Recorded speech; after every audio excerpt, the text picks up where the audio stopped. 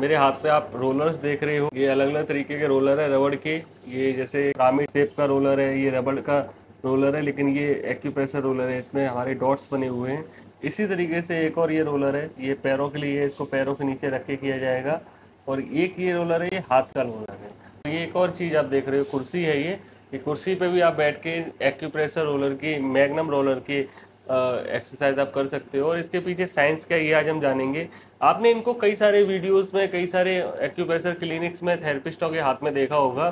लेकिन आज हम मिलने वाले हैं उनसे जिन्होंने इसको जन्म दिया, इसके जन्मदाता, जिन्होंने इसको रिसर्च करके बनाया और उसको भारत सरकार द्वारा इनको पेटेंट दिया गया उस चीज़ के लिए कि ये जो साइंस है इसके पीछे 10-15 साल रिसर्च की, फिर उसको सरकार तक लेके गए और वहाँ से पेटेंट लिया। इसके अलावा आम जनता तक लेके गए, कई डॉक्टर्स को, कई थेरेपिस्टों को, फिजियोथेरेपिस्टों को इसके बारे में बताया और इसके कई सारे लोगों को फ़ायदा मिले। तो ये कैसे शुरू हुआ? किसके पीछे क्या जर्नी है? क्या साइंस है? हम जानेंगे। आज हमारे सर मौजूद हैं देवेंद्र कपूर सर, जिन्होंने इसको इन्वेंट किया है। तो सर, ये कैसे आपने किया और ये रबड़ का ही क्यों बनाया? इसके पीछे क्या आपका मन था? बहुत पहले मैं अरविंद आश्रम बड़ौदा में एक्यूप्रेशर काम करता था। वहाँ से मुझे इंस्पायरेशन मिली। तो लकड़ी के रोलर ऑलरेडी मिलते हैं। यह है एक्यूप्रेशर सिस्टम के साथ और रबड़ का बनाया। मैं जिस डिपार्टमेंट में काम करता था, वहाँ के सिस्टम को मैंने इसमें डाला और मेरी सर्जरी 1986 में होनी थी। रोलर बनाने के बाद मेरी सर्जरी 93 में हुई है। बाईपास सर्जरी हो चुकी है और इसका मैं प्रयोग करता हूँ रेगुलरली और अभी ठीक ठाक हूँ, बिल्कुल। से ठीक है। मेरी बयासी साल की उम्र हो चुकी है अभी। 1941 के सर बॉर्न है और सर ने as a scientific officer department of atomic energy heavy water plant में काम किया बड़ौदा में और उससे पहले sir university of Roorkee and Thapar institute of engineering technology Patiala में भी काम कर चुके हैं। तीस साल अलग अलग जगह काम करने के बाद और इस चीज़ को इन्होंने उन्नीस सौ अट्ठासी में डेवलप कर लिया था। और उसके बाद पेटेंट के लिए 96 में अप्लाई किया और उनको आगे जाके वो मिला भी। तो सर ये इसके पीछे साइंस क्या है? ये कैसे काम करता है? इसको कैसे एक आम जनता समझ सकती है कि इसके पीछे ये डॉट का क्या कारण है या ये पिरामिड जैसा आपने ऐसा क्यों बनाया है? क्योंकि वो एक्यूप्रेशर तो प्रचलित है ना। एक्यूप्रेशर के तो लाभ मिलता ही है। मैंने इसको रबड़ का इसलिए बनाया थोड़ा सॉफ्ट है और चुपता नहीं मैंने इसके अंदर जो पाइप डाले हैं पाइप हम्म। डाले हैं और जो रॉड डाली है और उससे क्या होगा कि वो रोल जब रोल करते हैं तो उसमें इलेक्ट्रिसिटी प्रोड्यूस होती है। जी। जब बिजली पैदा होती है तो हमारे शरीर की जितनी वोल्टेज है उसको बढ़ा देती है और शरीर का जो ब्लड सर्कुलेशन है वो तेज़ हो जाता है।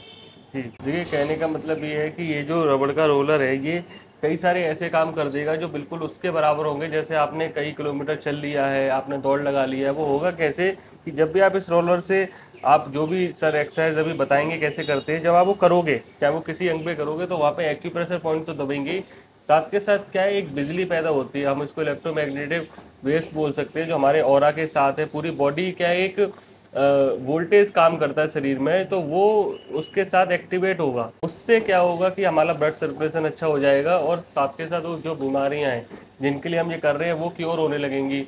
उनसे हम निजात पा सकते हैं या उनसे बचे रहेंगे। और इससे आप वज़न घटा सकते हो अपने हार्ट रेट को अच्छा रख सकते हो। अगर कभी किसी को अटैक हो गया या स्टेंट पड़ गया तो उसको भी आप डिले कर सकते हो। तो सर आपकी जो सर्जरी पहले हुई वो दोबारा होने के बाद उसके बाद कोई तीसरी बार सर्जरी नहीं हुई आपकी सर्जरी कोई नहीं उसके हार्ट की कोई सर्जरी एक एक टाइम हुई बस। कब हुई थी? नाइनटी नाइन्टी थ्री में। नाइन्टी थ्री में। तो वो पाँच साल डिले से आपका क्या मतलब है? जाना हुआ उसको फिर मैंने वहाँ के सिस्टम को उसमें डाला। क्या सर को पहले कुछ प्रॉब्लम आई जिसकी वजह से हार्ट से रिलेटेड कुछ प्रॉब्लम हो गई।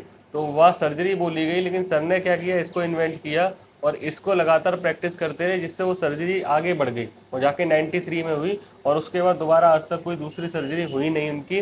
जबकि स्टंट क्या होता है, एक बार आप पढ़ता है तो दोबारा आपको पाँच से, तीन से पाँच साल में ज़रूर रिपीट करता है। लेकिन 93 में होने के बाद दो हज़ार तेईस में हम हैं, लगभग तीस साल हो चुके हैं, लेकिन फिर भी दोबारा उस किसी सर्जरी की ज़रूरत नहीं पड़ी, जबकि आजकल ऐसा हो रहा है कि पाँच से दस साल में अब तो तीन तीन साल में दोबारा अटैक आने लगा है और सर को आज तक ऐसा कुछ नहीं हुआ। बयासी साल के सर हो चुके हैं और अभी तक पूरा सही चल रहे हैं रेगुलर अपने काम सारे कर रहे हैं और अच्छे से जी रहे हैं। तो सर इनको हम करते कैसे? इनसे कौन कौन सी एक्सरसाइज हम कर सकते हैं? देखिए चप्पल उतारने की ज़रूरत है स्टैटिक चार्ज होता है ना वो अर्थ हो जाता है। जी। ऊपर देखते हुए ये ये कर सकते हैं। ये कर सकते हैं। ये जो एक्सरसाइज आप देख रहे हो ये हमारे फ्रोजन शोल्डर पर बहुत अच्छा काम करेगी और हाथों के लिए भी एक अच्छी एक्सरसाइज है। को देखना इस सुराख को देखना। जो बहुत ज़्यादा एक्सरसाइज नहीं कर सकते कंधे नहीं उठते हैं तो वो ये बहुत आसानी से इस तरीके से कर सकते हैं। इसमें करना क्या है कि दोनों तरफ़ जो सुराख है उनको देखना है ये इसके और फिर ऐसे किया और फिर ऐसे किया। और ये जो बैठने वाली इस तरीके से कराई है तो इससे तो आप अपनी पूरी बॉडी की फुल एक्सरसाइज आपकी हो रही है क्योंकि आप लगातार नीचे भी जा रहे हो और इस तरीके से ऊपर भी आ रहे हो। ऊपर देखते हुए आप करोगे तो क्या होगा कि ये जो पूरा एरिया है इस पे भी एक्सरसाइज हो रही है और साथ में आपके कमर के भी जो पॉइंट्स हैं वो भी इससे लगातार दब रहे हैं। इससे पिंडलियों पे की जा सकती है और कोई तरीके से कर सकते हैं। पिंडलियों में ऐसे भी कर सकते हैं कुछ लोग एक्सरसाइज करना ही नहीं चाहते। उनके लिए ये इस तरीके से पूरी पिंडलियों की जांघों की पूरी सारी एक्सरसाइज हो रही है। दो दूसरा तरीका बता रहे हैं। पहले तरीके में पूरी पिंडलियाँ और पूरी जांघों तक लेके आए। फिर आपने एक हिस्से को ज़मीन पे रख के दूसरे हिस्से से पूरी पिंडलियों पे जांघों पे करना है। और ये दोनों तरफ़ आपको रिपीट करना है। और बैठने के बाद आप कमर पे भी कर सकते हो। इस तरीके से आप पीठ पे अपने कंधों पे कर सकते हो। और इससे स्पाइन को भी आपकी मजबूती मिलेगी। ये जो आपने कुर्सी बनाई है इसका कैसे यूज़ कर सकते हैं हम? ऐसे करना जरा मुश्किल होता है लोगों को। पे मैंने इस कुर्सी को बनाया ये दस कर लीजिए ये दस कर लीजिए। इसमें क्या पहले आपने दोनों पैर सीधे करके करनी है? फिर एक के ऊपर एक पैर रख के दोनों पैरों से करना है। और इसके बाद? कॉक्सी जॉइंट तक जब आप ये करते हो तो पूरी बॉडी की एक्सरसाइज होती है इससे। और ये घुटनों के पीछे हम कर रहे हैं तो इससे घुटनों के दर्द में भी आराम मिलेगा। इतना करने से मैं इतना सांस उड़ गया। हम्म। सांस लेना ज़बरदस्ती सांस लेना पड़ रहा है ना। वो लाभ मिल जाता है। बिल्कुल वैसे ही है कि जैसे आप दौड़ लगाते हो तब एक्स तब आपको सांस तेज़ी से लेनी पड़ती है तो इतना करने से भी आपकी उतनी सांस उखड़ रही है मतलब उतनी ही मेहनत आपके शरीर ने कर ली जितना आप दौड़ लगा के कर पाते हैं। कैलोरीज है लेते हैं उसको कैलोरीज को बैलेंस कर देता है। कैलोरीज भी बर्न होते हैं। इसमें चार तरीके की चीज़ें हैं यहाँ पर। एक तो ये रबड़ का रोलर है ये इसमें डॉट वाला रोलर है जो आपको आम लकड़ी के मिलते हैं लेकिन ये रबड़ का है ये काफ़ी सॉफ्ट है इसको करने से आपको उतना चुभेगा नहीं। और दूसरा ये रोलर है, ये पिरामिड शेप का है। यहाँ पे देखोगे, आप नुकीला पिरामिड है ये। इसको साइड से देखने में पिरामिड दिखता है ये। तो ये पैरों के नीचे रखने के लिए, इसमें भी पिरामिड भी डाला है डॉट भी डाला है।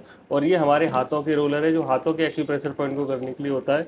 एक बार इसको भी पैरों के नीचे चला के आप बताएँगे पैरों के तलवे में जो एक्यूप्रेशर पॉइंट होते हैं, वो हमारे इससे दबेंगे, इससे पिरामिड से भी दबेंगे और इसमें डॉट भी है। ये जो अभी कर रहे हैं, एक पैर के ऊपर दूसरा पैर रखे, ये हमारी स्पाइन को सपोर्ट मिल रहा है। तलवे में जो स्पाइन है वो अच्छे से दब रही है इससे। बड़े बुज़ुर्ग तो हमारे कोई एक्सरसाइज और खास भाग दौड़ तो कर ही नहीं सकते तो इसी से अपना काफ़ी फ़ायदा उठा सकते हैं। ये एक्यूप्रेशर रोलर जो रबड़ का रोलर है चाहे वो डॉट वाला हो चाहे ये पिरामिड वाला हो या पैरों का ये हाथों के लिए आप ये अ, कहीं से भी आप लेके इस्तेमाल कर रहे हो लेकिन आज हमने आपको मिलवाया उनसे जिन्होंने इसको ये डेवलप किया ये जो आप देख सकते हो कि भारत सरकार का पेटेंट जो सर को मिला हुआ है वो भी यहाँ पर है।